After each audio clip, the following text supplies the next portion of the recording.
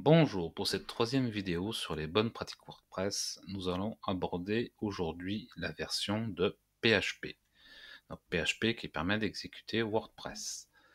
Donc, ici je suis sur euh, la page de téléchargement de WordPress sur lequel sont indiqués les prérequis. Et comme vous pouvez le voir, donc nous sommes le 2 octobre 2018 et à ce jour WordPress recommande la version 7.2 ou de PHP.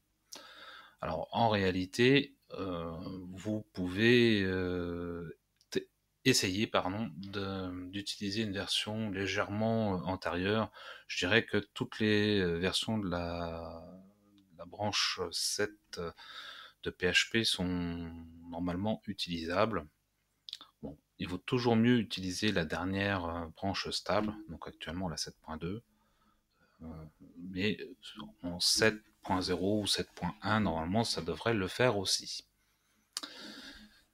Je vais vous montrer aussi également que euh, actuellement, euh, parmi les versions stables disponibles de PHP, donc on est directement sur le site php.net, et il vous propose donc version 5.6.38, 7.0.32, 7.1.22 et 7.2.10 toutes les autres versions euh, sont soit ni stables ni maintenues euh, et donc il ne faut pas les utiliser. Utilisez uniquement une de ces quatre versions et pour WordPress, je vous conseille vivement d'abandonner la 5.6.38 sauf si vous avez un vieux WordPress euh, qui ou un vieux thème ou une vieille extension qui ne supporte pas les versions récentes de PHP. Mais si c'est le cas, posez-vous la question, euh, n'avez-vous pas intérêt à passer à une version plus récente, euh, soit du cœur de WordPress, soit de votre thème, ou de l'extension qui pose problème? Parce que tôt ou tard,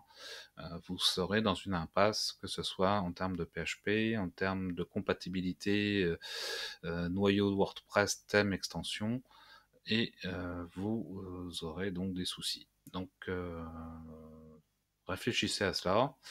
Toujours est-il que voilà, moi je recommande d'utiliser une des versions de la branche 7. Euh, alors pourquoi utiliser euh, une version récente de PHP euh, Comme je viens de vous l'expliquer, la première raison c'est pour des problèmes de compatibilité. La deuxième raison, c'est que en termes de sécurité aussi, si vous utilisez une euh, version, euh, une autre version que celle-ci, euh, comme ce sont des versions qui ne sont plus maintenues, il y a des possibles failles de sécurité qui pourraient apparaître tôt ou tard. Donc justement, moi aujourd'hui, ce qui motive cette vidéo, c'est que j'ai une cliente qui m'a contacté il y a quelques temps, puisqu'elle s'est fait pirater son site. Et donc j'ai eu aujourd'hui euh, les accès à son hébergeur, qui est One and One pour ne pas le nommer, euh, qui, euh, qui, qui, a donc mis le, site hors ligne. Donc ça, on, je, dirais que c'est une bonne chose. Hein, c'est, ça fait parmi des points positifs à mettre à leur actif, des peu de points positifs à mettre à leur actif. Euh, ceci dit, quand je me suis euh, connecté à l'espace client One and One,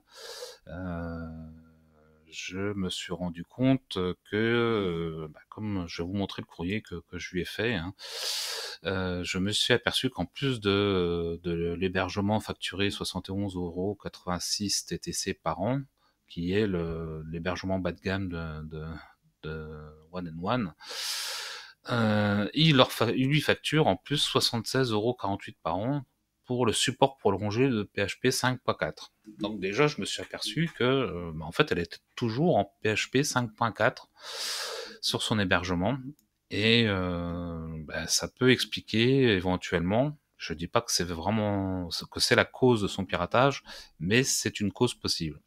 Alors la cause, on la connaîtra pas parce que bah, je, déjà je suis pas euh, spécialiste en piratage dans le sens où euh, je serais bien incapable de dire d'où exactement provient le piratage.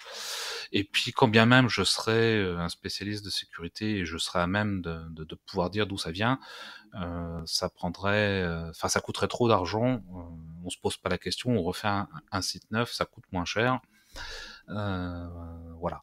Donc, mais il faut savoir que bah, son piratage vient peut-être de là. Donc ça c'est la première chose. Donc le, risque, il est, euh, il est tout de même important. En plus, comme je lui indique ici, donc il y a des failles de sécurité. Comme on l'a vu, il y a des euh, risques de compatibilité. Et puis surtout, il faut savoir que à partir de la version 7 de PHP, on a fait un grand bond en avant en termes de vitesse d'exécution. Et ça, ça se répercute sur la vitesse de chargement de vos pages. Et euh, moi, je peux vous dire que euh, quand je suis passé de PHP 5.6, qui est déjà plus rapide que 5.4, à PHP 7.0, euh, j'ai franchement vu la différence. chez un même hébergeur, sans changer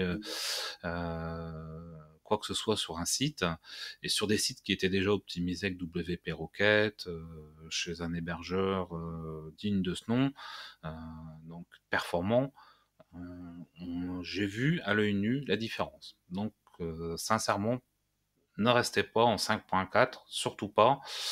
Euh, et si vous êtes en 5.6, euh, sincèrement, testez la version 7, voire 7.1 ou 7.2 de PHP. Vous verrez, vos sites, vos sites s'exécuteront bien plus rapidement. Alors, si jamais vous avez peur que ça casse votre site par rapport euh, à votre installation, vos extensions ou autres, sachez que vous pouvez faire marche arrière. Il suffit de modifier à nouveau la version de PHP et vous retrouvez votre ancienne configuration. C'est pas comme quand vous faites une modification dans le code et que ça peut tout casser et qu'il est difficile de revenir en arrière, euh, ou vous changez un réglage dans votre base de données. Euh, voilà. PHP, vous pouvez faire machine arrière et vous retrouvez exactement votre site comme il était avant.